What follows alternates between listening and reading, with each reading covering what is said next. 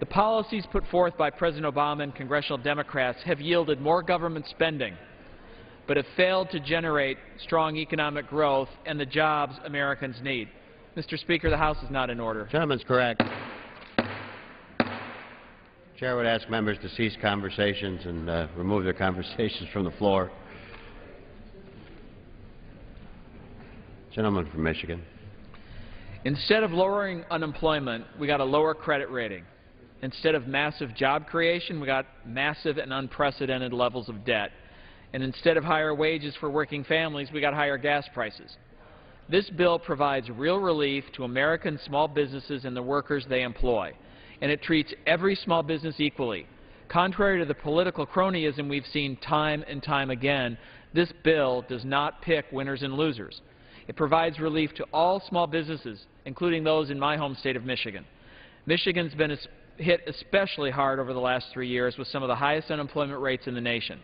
And while small business owners in my district need and want comprehensive tax reform, they also agree that we must take steps to spur investment and hiring today as well.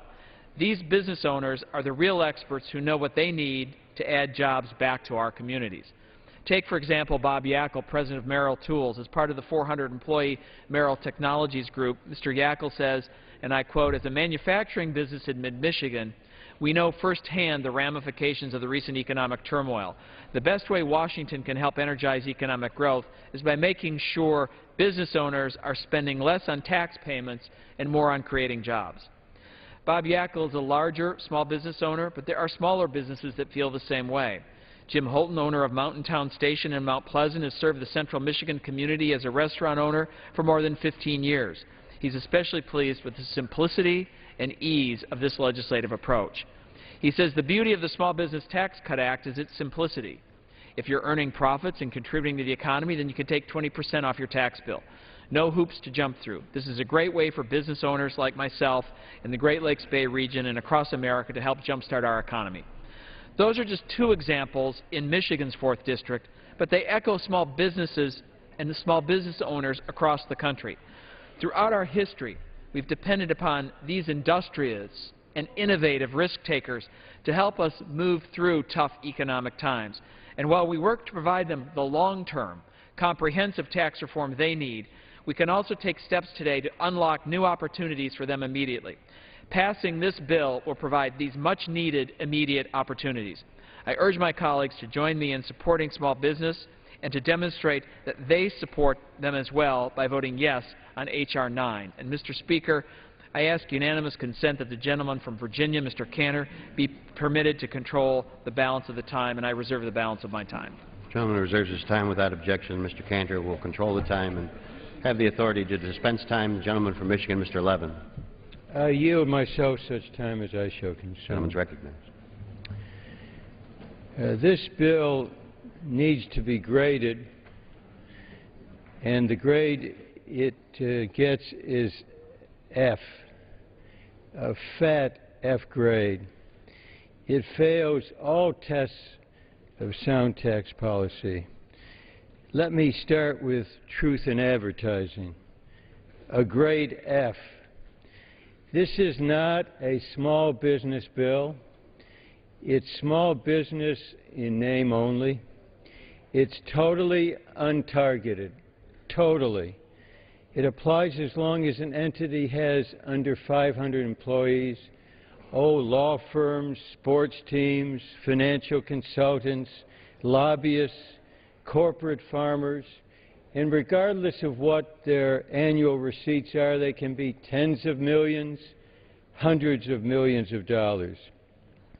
Interestingly, when the SBA Uh, looks at its loan program, it has what's called a common standard. And what that is, that generally the businesses it serves cannot have more than 7 million in annual, average annual receipts for most non-manufacturing uh, firms. This bill has no limits, none as to function or amount of receipts. So really this bill mocks the use of the title small business. This isn't about mom and pop. It's about popping the cork for wealthy taxpayers. So, secondly, graded on tax fairness, F.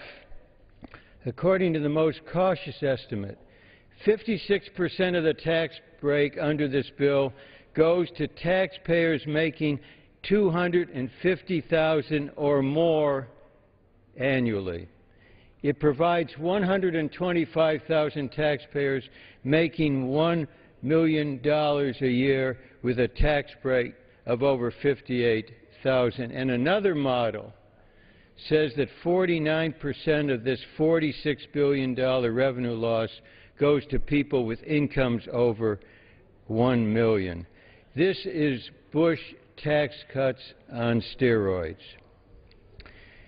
Thirdly, in terms of job creation, another grade F. Listen to the Joint Tax Committee analysis. It says this bill's economic impact, I quote, is so small as to be incalculable. So small as to be incalculable. The only thing calculating about this bill is its political nature. You know, we've looked at the uh, website of uh, the majority leader. Uh, he uses uh, Mr. Robbins, who um, was the one who advised Herman Cain on 999. And so here's what Mr. Robbins says about uh, this bill. He estimates that a one-year tax cut would create 39,000 jobs. This is on the majority leader's website. So according to the analysis that the leader is touting on his own website, H.R. 9 would increase the federal deficit by $1.1 million for every job supposedly created. So, another big F. Now let's talk about uh, where these jobs would be created. The bill doesn't, it's so untargeted, require that the jobs that are created here would really be created. Because a company would get this benefit if it sheds jobs, or if it uses the deduction to hire uh, workers overseas. All right, let's next go to fiscal irresponsibility, another fat F in terms of responsibility. This bill adds a whopping $46 billion, $46 billion to the deficit in one year. And if it's made permanent, one half trillion dollars over the next 10 years. So I say this to anybody who votes for this bill and then goes home and utters the word once federal deficit. They will sell short the intelligence of their constituents because they'll know when someone is selling them a pig in a poke. Now let's talk about tax reform. Another fat F. This bill is the antithesis of tax reform. And what it does is ridicule supporters who claim their fealty to tax reform. It doesn't simplify tax structures, it complicates it. And that's why I quote the Wall Street Journal this morning. This is what they say about your bill. It's another tax gimmick. Just earlier today, somebody got up here and read from the Wall Street Journal uh, some months ago. Again, the Wall Street Journal says the U.S. economy does not need another tax gimmick, gimmick, end of quotes. So this is tax policy gone haywire. So I'm going to offer a substitute after we finish debate here on uh, general debate that's targeted, that will help create jobs, that's fair, that is fiscally responsible, and continues a policy that both Republicans and Democrats have supported in the past. This flies in the face of anything bipartisan. It flies in the face of anything that is truthful in advertising. It flies in the face of anything that is fair. It flies in the face of anything that creates jobs. It flies in the face of fiscal responsibility. And it flies in the face of tax reform. So I more than urge people vote no and vote yes on our substitute. I really urge that um, they exercise their responsibility uh, to try to get this country moving in the right direction, not with policies that deserve a total F on the test of sound tax policy. I reserve the balance of my time. Gentleman reserves his time. The gentleman from uh, Virginia, Mr. Cantor, the Majority Leader of the House. Uh, thank you, Mr. Speaker. I yield myself uh, as much time as I may consume. Gentleman's recognized. Mr. Speaker, we know jobs won't come back until small businesses recover. Small businesses have generated over 65 percent of the new jobs in this country, but the economic downturn, red tape, and higher taxes coming from Washington have simply made it harder for small business to create jobs. Tax policy should encourage economic growth, investment, and job creation, not stifle it. We need to stop thinking about what kind of country we want to be. We need to stop and think about what kind of country we want to be. And we want to be one with lower taxes, more growth, and more jobs. Or do we want to be one of more government control and fewer opportunities? This week, when every American filed their tax returns, the other party in the Senate voted to increase taxes. We should not be taking money out of the hands of those we are counting on to create jobs. We need to let small business owners keep more of their hard-earned money so they can start hiring again. Today, Mr. Speaker, we'll vote on the Small Business Tax Cut Act to give every small business with less than 500 employees a 20 percent tax cut. Our bill puts more money into the hands of small business owners so they can reinvest those funds to retain and create more jobs and grow their businesses plain and simple. According to a study, the Small Business Tax Cut Act will help create more than 100,000 new jobs a year once fully in place. One-third of the firms that benefit from our tax cut are owned by women. One-fifth are owned by minorities. And our legislation won't just benefit small business owners. It benefits current workers by boosting wages. Mr. Speaker, when I talk with small business owners across the country, I hear they need more opportunity to grow. I hear the taxes are siphoning away their income. I hear they can't access capital. One small business owner in Spotsylvania, Virginia called the small business tax cut a win-win for him and other small business owners in the economy. He said that with more money to invest in his businesses, he could afford to hire more staff, buy new equipment, and expand.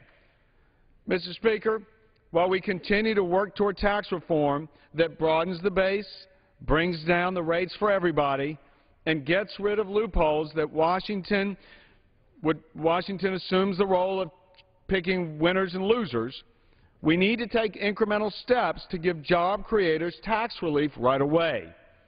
This Small Business Tax Act is a step in that right direction. President Obama called small businesses the anchors of our main streets. We agree. I hope we can all unite around helping the small businesses, which are the engines of job creation in our country. And, Mr. Speaker, I'd say in response to the gentleman's assertion uh, towards the definition of small business in this bill, this is the Small Business Administration definition of small business. This is what every program that comes out of this government aimed to help small businesses is premised upon. The SBA definition of a small business is those of 499 or less. And as far as the gentleman's allegations about the potential for abuse under this bill, if he'd read the language of the bill, Mr. Speaker, it caps the ability to benefit from the tax cut to 50 percent of the W-2 wages that that small businesses pays out. This is straight up something to help small businesses keep more of their money while they're having so much difficulty keeping the lights on and instead giving them the ability to grow, to grow, invest, and create more jobs. And as far as the gentleman's allegations that somehow this bill only affects those millionaires, billionaires, and the rest, I think he will see the studies have shown that just 18.3 percent are those people in the categories of income he suggests, with 80-some percent in the middle class. 80-some percent the true small business owners who we're relying on to create jobs for the middle class to come back.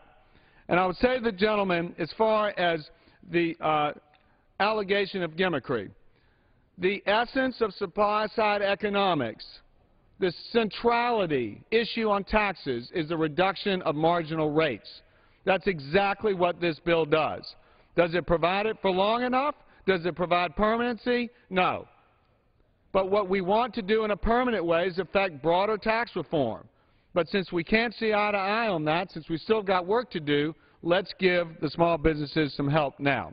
With that, I yield, I, I reserve the rest of my time, Mr. Speaker. Gentleman reserves. Gentleman from I yield myself 30 seconds. Gentleman's recognized. We have a statement of administration policy in total opposition to this. The Small Business Administration would not provide a loan for innumerable people who benefit from this. They have a 7 million limit. Supply side economics, we tried that for a number of years and we're, we're losing 700,000 jobs a month when this administration took over. 700,000 and you raise supply side economics as something we should uh, uh, embrace? No way. No way. I yield now three minutes to the distinguished gentleman from Washington, a member of our committee, Mr. Dr. Jim McDermott. Gentleman from Washington. Without objection. Mr. Speaker, members of the House, in five hours we're going to get on planes and go home, so we have to get the press releases ready to go. And that's what this is about. This bill will be dead in the Senate the minute it hits the desk. It's not going anywhere. It is a press release, and it is the most wasteful bill of the season so far.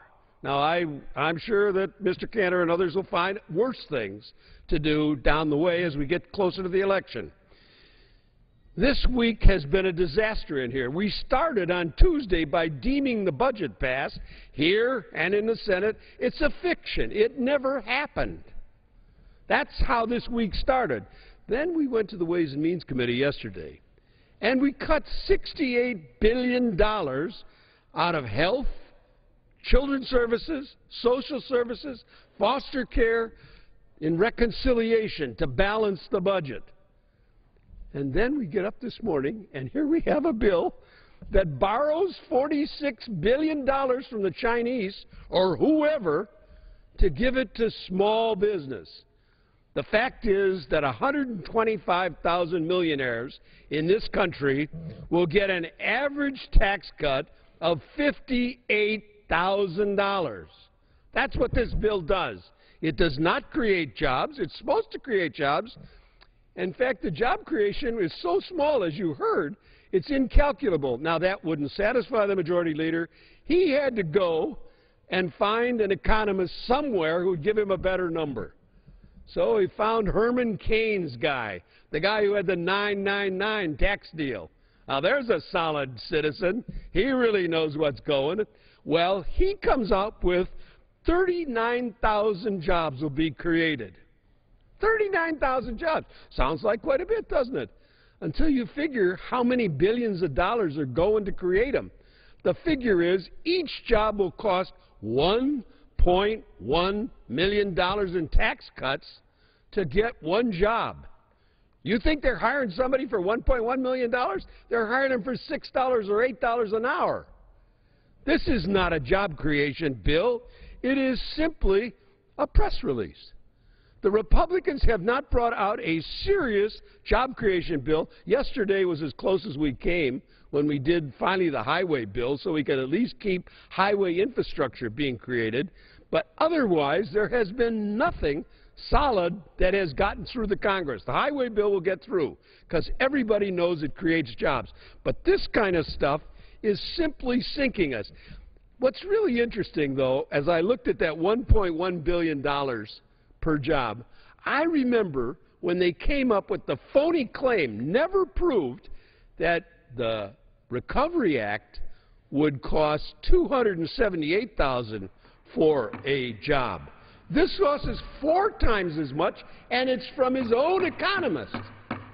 Gentleman's time Vote expired. no on this bill. Gentleman's time's expired. Gentleman from Virginia. Thank you, Mr. Speaker. Mr. Speaker, I now yield one minute to the gentlewoman from Washington, Ms. Herrera Beutler. Gentlelady from Washington. Thank you, Mr. Speaker. And last week I met with more than 70 small businesses throughout southwest Washington, and I'm here to support a bill today that would give every one of those businesses a much-needed positive injection of capital. What my friends on the other side of the aisle seem to have a hard time understanding is that 7 out of 10 jobs in this country over the last 20 years have come from small businesses. If we create an environment where they can grow and succeed, more people are going to find work, and that's what this is all about. They need it. My district has endured multiple years of double-digit unemployment, and job-providing small businesses haven't seen much from their government to give them hope or encourage them uh, to grow their workforce. For example, many small businesses that I've met with are really worried about hitting that 50-employee threshold uh, that's going to trigger the health care law's burdensome costs. They're staying under it. Imagine that, a government rule that is deterring small businesses from hiring. This is a terrible time to send that message. Another business owner talked to me about how he's exasperated by the government reaching out to him saying he had four days to put together a mountain load of paperwork or face a fine. Mr. Speaker, I yield uh, the gentlelady an additional 30 seconds. Gentlelady's recognized. We need to remove those barriers, and today the bill that, we're, that we get a chance to pass is going to send a different signal that says government wants you to grow. We want you to hire. You're not Uncle Sam's piggy bank. We want you to succeed and prosper. Gonna, these businesses are going to put moms, dads, and hardworking taxpayers to work. Let's allow them to do more of that. And on behalf of small business owners in Southwest Washington, I stand in strong support of this bill. Thank you. I yield back. Gentlelady yields I yield myself five seconds. Gentleman's Is it worth 1.1 million a job in Washington? I now yield two minutes to the very distinguished gentleman from Oregon, an active member of our committee, Mr. Blumenauer. Gentleman from Oregon. Thank you very much. I, I listened to my good friend and colleague from the other side of the river from my hometown of Portland, Oregon, uh, talking about trying to assist small business and encouraging economic development. But the facts are that the vast majority of this aid, as we've talked about, is going to be unfocused. It's going to go to people whether they need it or not, including some of the wealthiest individuals and uh, partnerships, uh, accountants, lobbyists, uh, and to companies regardless of whether or not they add employment or reduce it. At this very time, we have people on Capitol Hill who are begging us to get real about infrastructure investment. We finally are getting a, a bill to conference, but we're hung up on funding it. The Republican budget would cut transportation funding 46 percent.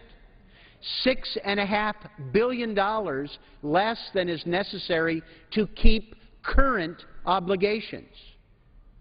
This week, small business people, including a number who visited my office, came in imploring us to stop the games, get on with a reauthorization of the Surface Transportation Act. If we really are going to borrow $46 billion from China or whomever and add to the deficit, if we have that capacity, for heaven's sakes, we should invest it in rebuilding and renewing America. This $46 billion added to the bipartisan Senate bill that passed with 74 votes, half the Republicans, uh, you take that money plus $46 billion. we could have a robust reauthorization of the Surface Transportation Act, create hundreds of thousands of family wage jobs, seconds. Gentleman's recognized. create hundreds of thousands of family wage jobs, not picking winners and losers, but going back to the day when we used to work together on a bipartisan basis to fund infrastructure and help strengthen every community around the country. Reject this gimmick. If we have an extra $46 billion we're going to borrow, investing it in rebuilding and renewing America, really helping small business and strengthening the environment in every community across America. Gentleman from Virginia. Uh, thank you, Mr. Speaker. I now yield one minute to the gentlewoman from Kansas, Ms. Jenkins. Gentlelady from Kansas. I thank the leader for yielding. Job growth is my top priority, and no one can deny that small business is the engine that drives our economy and our job market. Since 1980, small businesses have accounted for 60 percent of job creation. Their success is vital to the strength of this economy and the availability of jobs for all Americans. As a CPA and a legislator, I've heard from small business owners throughout my career, and their message has been remarkably consistent. They need relief from the burdensome tax code, and they need capital to hire and expand, which is exactly what the Small Business Tax Cut Act provides. While our colleagues in the Senate are devising new and creative ways to raise taxes, here in the House we have the opportunity to pass legislation that supports our small businesses, encourages growth and job creation, and lifts our economy out of the current economics of the day. We can and should do all this by passing the Small Business Tax Cut Act today. I yield back. And the lady yields back. Gentleman from Michigan. You ready, Xavier? I now yield uh, three minutes to another very active member of our committee, Mr. Bas- uh, Becerra, Xavier Becerra from California. Gentleman from California for three minutes. I thank the gentleman for yielding. Uh, when you hear small business, what comes up in your mind first? The corner drugstore, the tech troubleshooting startup, my daughter's martial arts instructor? How about Donald Trump? Trump Sales and Leasing, or Paris Hilton uh, Entertainment? What about Larry Flynt Publications?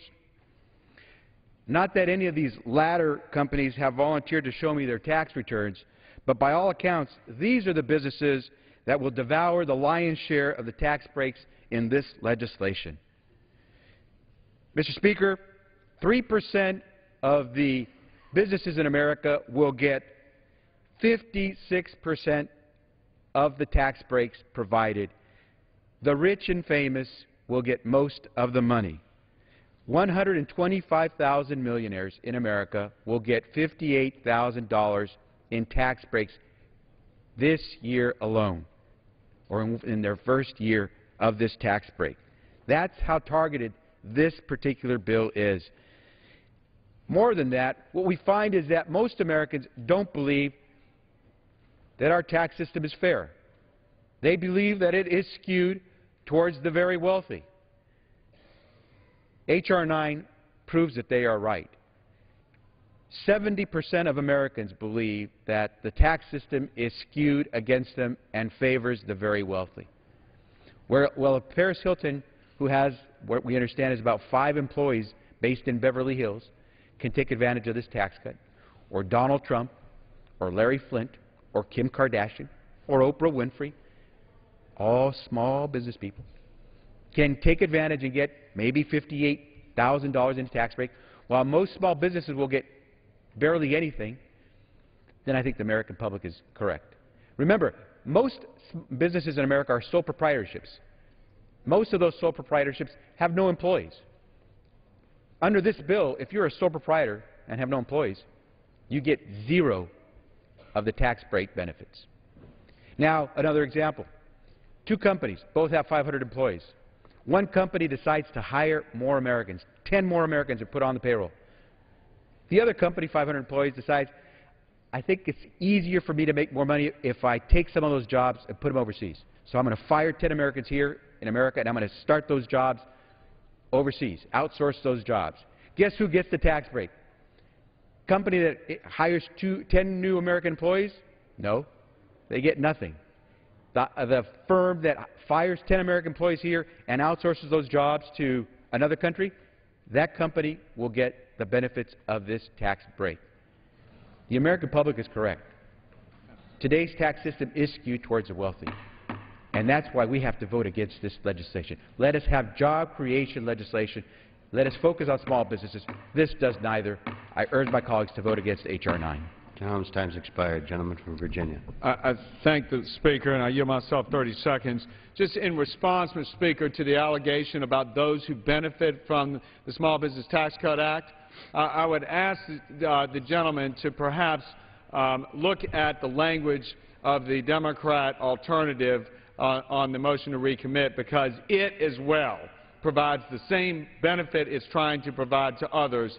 Uh, it, all those people, the so-called rich and famous, that he says are the only ones Would that benefit, also benefit under the their gentleman yield? alternative. So with that, Mr. Speaker, I would say, response? I will not. It, it, with that, Mr. Speaker, I would say, um, you know, we're here to provide the kind of relief to the small businessmen and women uh, that uh, uh, will benefit from this. And with that, I yield two minutes to a gentlewoman from Tennessee, Ms. Black. Gentlewoman from Tennessee.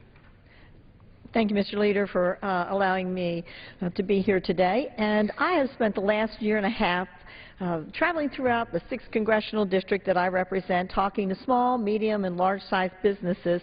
And um, what I have asked them is, across the board, what is it that would help you to be able to grow your business? And what I hear from them is that there, there's a lot of uncertainty out there, and they are concerned already about large burdens of uh, increasing taxes, more regulations, more mandates, and they really fear what Washington will do to them next. Well, what if, what if we said to small businesses that really are the engine of our economic growth that we're going to do something for you instead of to you? Um, what if Washington encouraged growth instead of causing small businesses to live in fear that one more tax might sink them? Over 20 years ago, my family started a small business, and I can tell you that if the conditions that are like they are today were like they, like they are today were then, we probably would not have taken the risk to put everything on the line and start our small business. And that's why I'm supporting Leader Cantor's 20% small business tax cut that would allow small business owners to, one, retain more capital, two, invest in their business, and three, and this is the key, to hire more workers. In the state of Tennessee, we have over 96,000 small businesses that employ over one hu- 1.38 million individuals. And in particular, we have 12,000 small women-owned businesses, which has been, until recently, the uh, fastest-growing sector of our small business uh, economy. And so, it's not just a cliche that getting small business growing again is the key to our economic growth. It's a fact. And I yield back my time. And the lady yields back. Gentleman from Michigan. I yield myself 30 seconds. What the leader said is not correct. The substitute provides some help to those who invest in property, plant, and equipment. That's not Paris Hilton. And also, also, the gentleman yield? let me finish. You didn't yield at all to us, so let me finish. So it has to be a factory. It's built here. I yield to the gentleman from California. And I yield myself an additional 30 seconds. So what the gentleman, Mr. Levin, is saying is correct, and I want to correct Mr. Cantor because he misspoke about the Democratic alternative. The Democratic alternative requires that a small business make an investment in plant and machinery. If, if Paris Hilton wishes to invest in plants and machinery, then perhaps he'll qualify. If uh, Larry Flynt would want to invest in plants and machinery for his business, perhaps he'd qualify. But otherwise, this is a giveaway. Ours requires you to make investments in America. Now I yield, who's next? Mr. I yield two minutes to another distinguished member of our committee, Mr. Neal, from the great state of Massachusetts.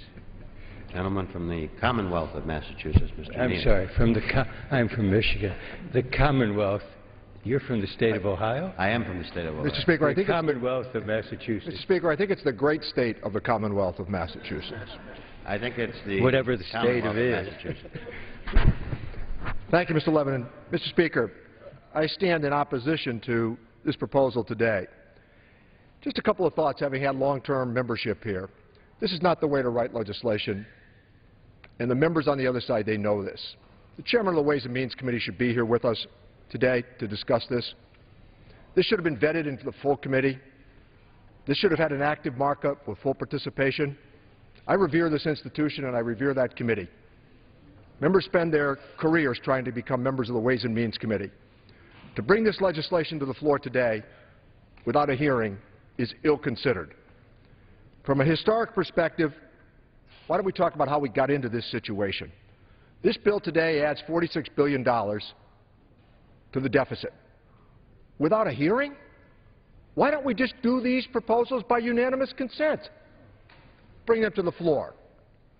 We missed the point of what the vetting process does, where people stand in front of that committee and they offer expert testimony. But our friends on the Republican side, they call this a small business tax cut. This is about the theater of the election year, and everybody knows it. This is the same group that would have you believe, incidentally, that tax cuts pay for themselves, even though you can't find an economist who will adhere to that position. They have run up the deficits in this country recklessly, and in the name of a political campaign, they're prepared to do it again. They want to pour syrup on the plate, not even bother to serve pancakes with it. In our current fiscal situation, to have not vetted this sort of proposal in front of the committee is a mistake. You want to talk about helping small business with tax policy? Count me in. Count me in. We've worked on some good bipartisan legislation over the last 20 years to help small businesses. Not to do it in this manner and way that this legislation has been brought to the floor. We had a markup in the committee yesterday. Cuts are being proposed to senior citizens, to low-income families, and they want to eliminate funding for wheels, Meals on Wheels. And they bring this proposal up today with a straight face. I yield back the balance of my time. Gentleman yields back. Gentleman from Virginia. Uh, Thank you, Mr. Speaker. I yield myself 30 seconds. Uh, Just want to set the record straight, Mr. Speaker. Ways and Means Committee uh, had two small business hearings in the implication of tax reform in which this proposal was raised. In addition, the gentleman well knows that there was a markup. Will the gentleman If yield? there- If I could finish, no. Uh, If there was a markup in committee in which even the gentleman offered an amendment, then withdrew it because it was ruled non-germane. So of course there was a markup. Of course this idea has been the subject of discussion in committee. Uh, so again, I just wanted to set the record straight, Mr. Speaker. And with that, uh, I yield one minute to the gentlewoman from Illinois, Ms. Biggert. Gentlewoman from Illinois.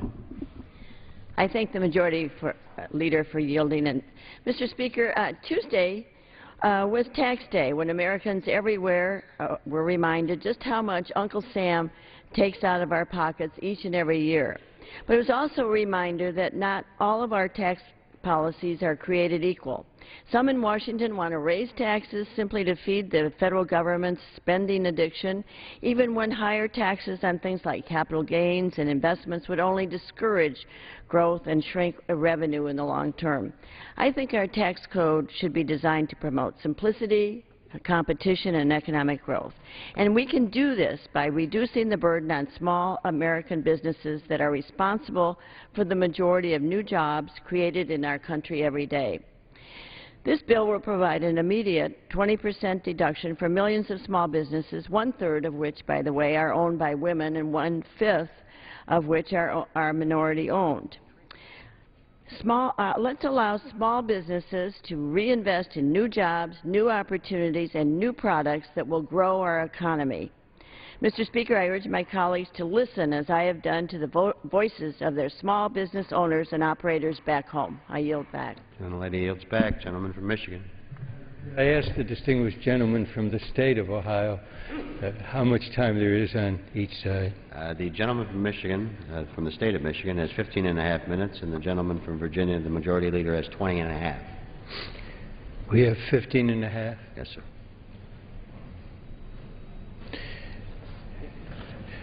I now yield two uh, minutes to the gentleman from Texas, another active member of our committee, Mr. Doggett. Gentleman from Texas. I thank the gentleman. You know, the Republicans are always so much better in the names they give these bills than what's in them. And I think in considering this one, we have to look at what it is and what it is not. It is not an economic recovery measure. A nonpartisan analysis has shown that the economic benefits are considered to be so small as to be incalculable. It is not helpful to sole proprietors who do not benefit at all from this bill. It is not a way to reduce the deficit or the national debt. Indeed, this is a measure that will add immediately $46 billion to the national deficit. We were told only yesterday that because of a pressing national debt, we can no longer fund hot meals for seniors through the Meals on Wheels program in Texas, that we could not afford to provide federal resources uh, that are necessary there on child abuse or on keeping a child with disability at home or helping a senior maintain their independence, that there just aren't the resources to do that. But today we are told there is $46 billion we can add to the debt for a nice sounding bill. What is this bill? It is another failed Republican retread. It is a measure that will help those at the top rather than those who are really struggling to get at the top.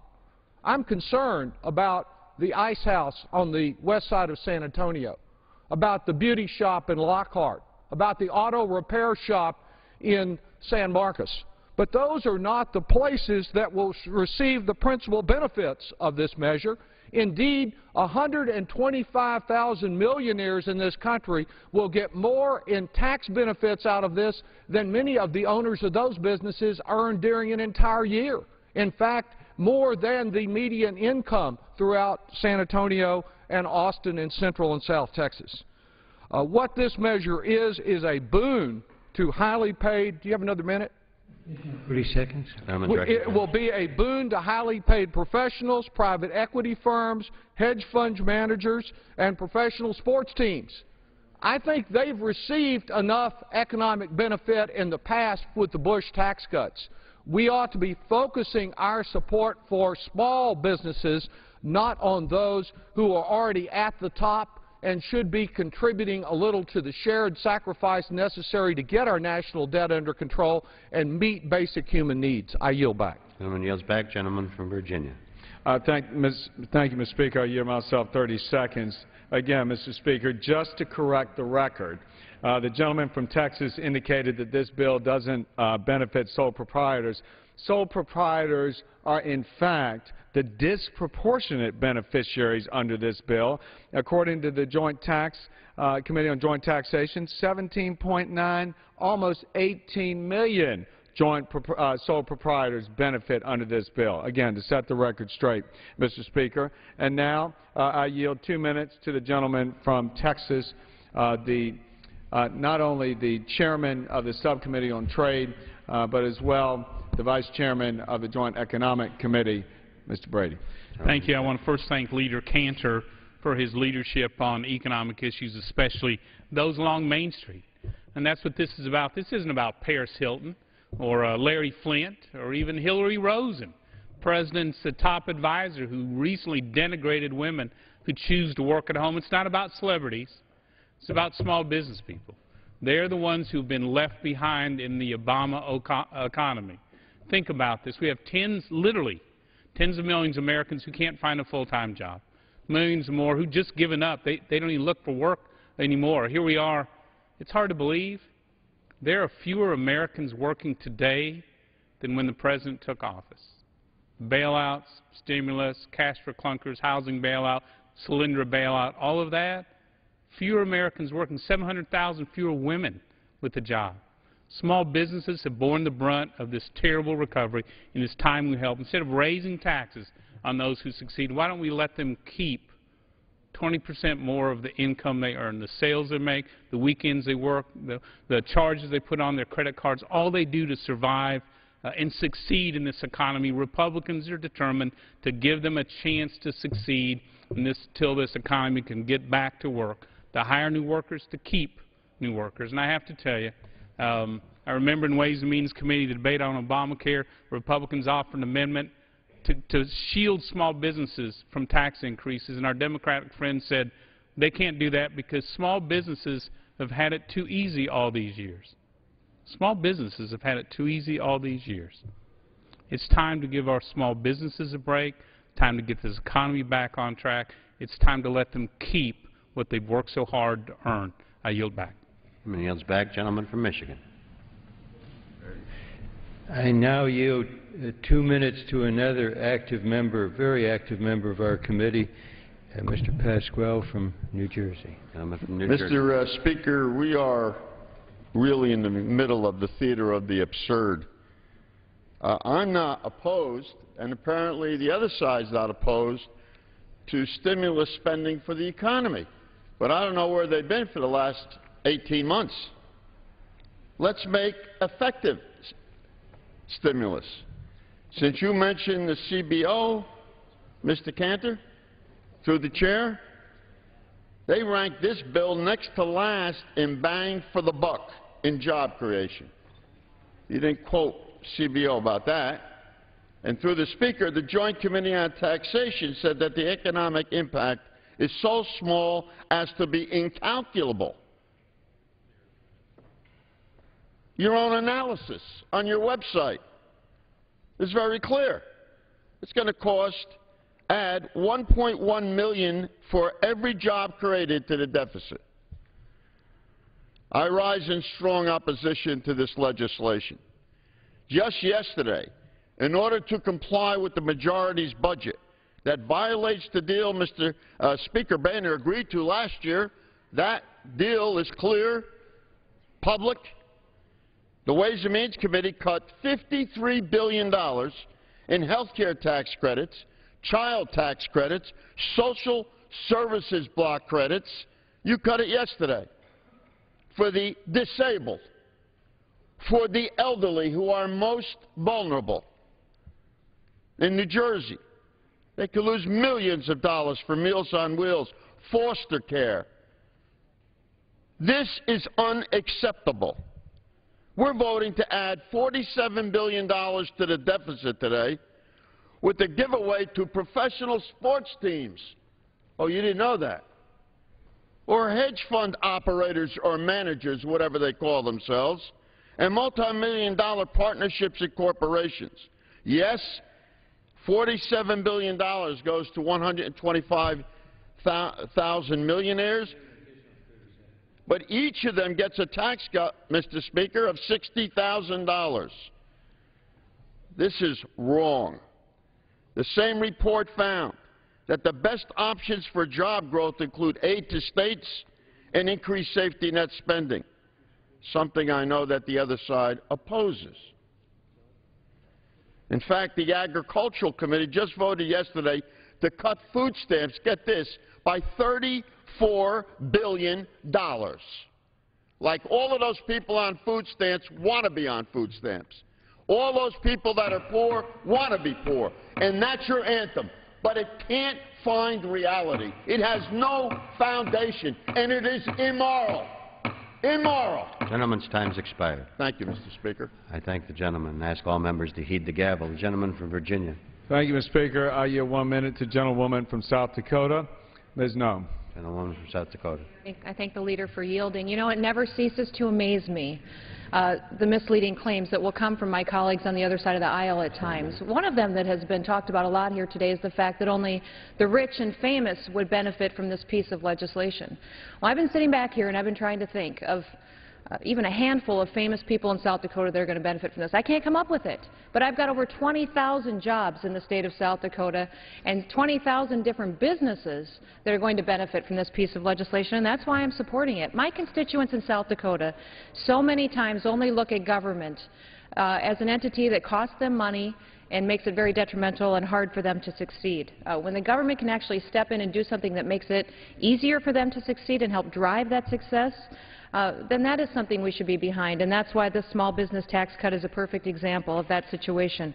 Small businesses create jobs, and they also uh, employ almost half of all the private sector employees in this country. This bill is going to free up the cash so that those small businesses can keep people employed when they've hit tough times and maybe reinvest in their businesses. It's a Speaker, key to I what we need to do, and I hope we can all come together and support this good legislation before us. Gentleman, ladies, time's expired. Gentleman from Michigan. I now yield two minutes to another distinguished member of our committee, the gentleman from New York, Mr. Crowley. Gentleman from New York.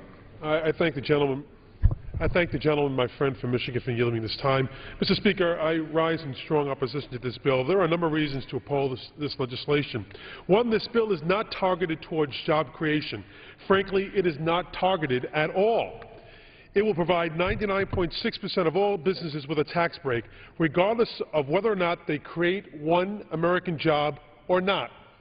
Two, this bill does not prevent businesses from a, taking a tax cut, even when they lay off workers. Three, this bill fails to help the businesses most in need, such as new businesses or startups. They're not eligible for any provisions in this bill. Fourth, this bill will add billions to the deficit, which will hurt economic growth in America. Five, and most egregiously, this bill provides companies who are in the midst of offshoring jobs with a tax break. During committee consideration of this legislation, I offered an amendment to deny this tax deduction to any company that reduces the number of American workers and jobs while correspondingly increasing in foreign workforce. Additionally, the amendment stated if a company offshores U.S. jobs next year, after this one-year tax expenditure expires, the funds would be recaptured or taken back by the Treasury. This is so a company cannot take the money this year and run away with American dollars and jobs next year and put them overseas. My amendment enjoyed the support of every Democrat on the Committee on Ways and Means. Unfortunately, it was not supported by one Republican on that committee. Americans and their taxpayer dollars should not be subsidizing the destruction of American jobs.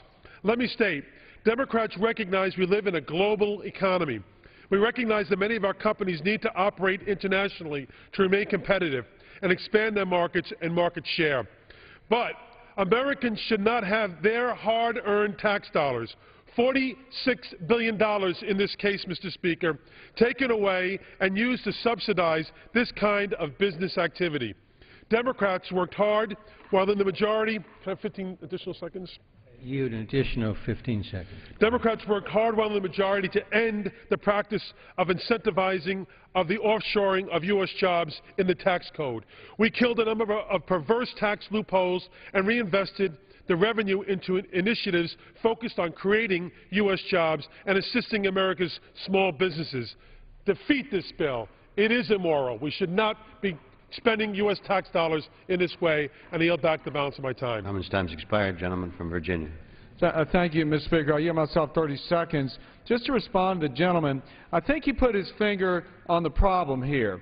The problem with his kind of amendment is the problem with the tax code today, because it means that if you're a business, you, under his rule, you'd have to come to Washington to seek eligibility for a tax break or seek eligibility for a tax favor. And if you're on the approved list in Washington, then you can go and benefit and have an advantage over others. That's not what we believe. We believe in helping all small businesses. And, and with that, I would yield, Mr. Speaker, two minutes to the gentleman, the Small Business Committee Chairman, the gentleman from Missouri, Mr. Graves. Gentleman from Missouri. Thank you, Mr. Speaker. Mr. Speaker, tax season reminds us that small businesses are disproportionately affected by tax compliance and high tax rates. The Small Business Administration reports that the average tax compliance cost per employee for small businesses is almost three times the cost of larger firms. And according to the NFIB, tax issues are the single sig most significant set of regulatory burdens for most small firms. The Small Business Tax Deduction Act is simple, fair, and gives small businesses access to badly needed capital to invest in their companies while providing just a little more certainty to help them plan for the future. As chairman of the Small Business Committee, I hear from small business owners every single week about their regulatory and tax burdens. And through our interactive web, web page, Small Business Open Mic, we have heard that tax policies may drive some small firms out of business. On Tuesday, Wendy Kohler, owner of Kohler Mowing and Storage in Fort Smith, Arkansas, said, and I quote, "We're hesitant to hire new employees for fear of what new tax burdens await us with the expiration of the older law and the new health care laws coming. We're concerned that these new issues may be the ones that push us out of business." Last Saturday, Debbie Peacock, owner of a fabricating distributor company in Mesa, Arizona, wrote, and I quote, any additional taxes will only stop any chance of recovery, and the government needs to realize we need every penny to increase staff, which puts people back to work. You know, I can go on and on and on about examples like these. Yesterday, our committee held a hearing on the flood of new taxes that are just around the corner, such as new taxes from the health care law and the massive tax increase that's going to occur if the 2001 and 2003 tax cuts expire. All of these measures could send the economy into a tailspin costing thousands of jobs. That's why the Small Business Tax Deduction Act is necessary and is going to provide that tax relief for America's most robust job creators. With that, Mr. Speaker, I'd ask that my colleagues support this bill, and I yield back the balance of my time. Gentleman yields back. Gentleman from Michigan.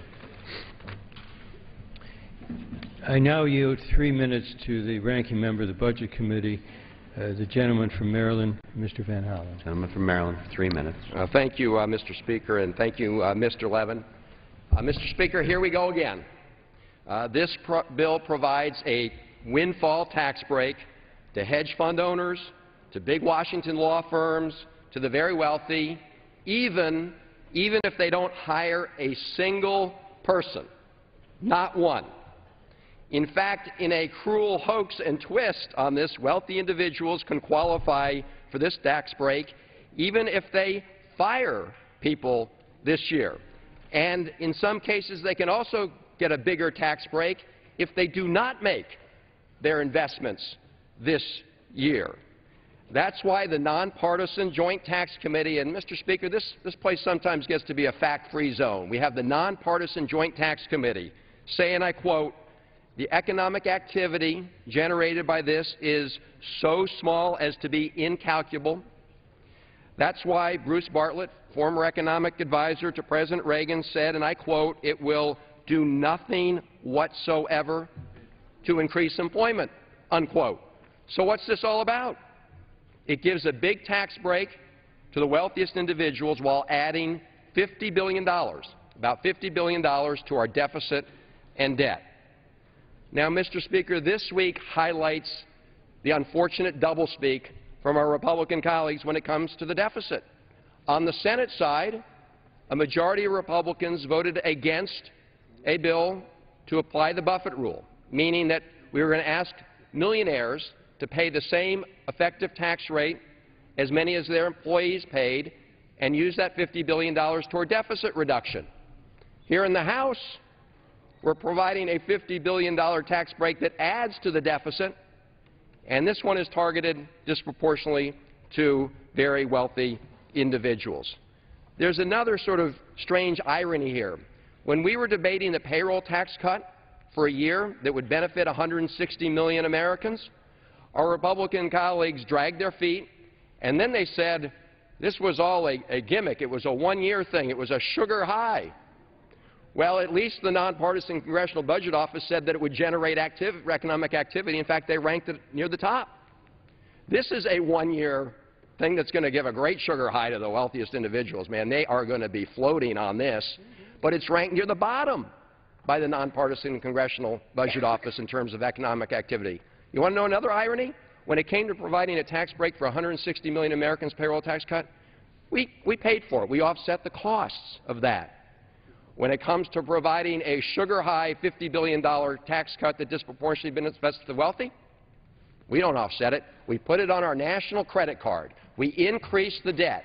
Who pays for that? We've heard on a bipartisan basis that's our kids, our grandkids. We're all going to be paying for that debt. So, Mr. Speaker, this is worse than a gimmick. It's not good for the economy. It adds to the deficit, uh, and I urge that uh, we reject the uh, bill. Gentleman's time's expired. Gentleman from Virginia. Mr. Speaker, I ask unanimous consent that the gentleman from Michigan, uh, Mr. Camp, be permitted to control the balance of the time. Without objection.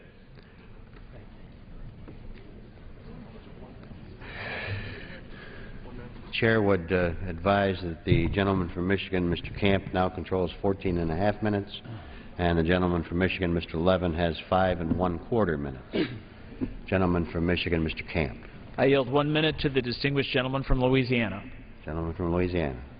Thank the gentleman from Michigan for yielding, and I rise in support of the small business tax cut.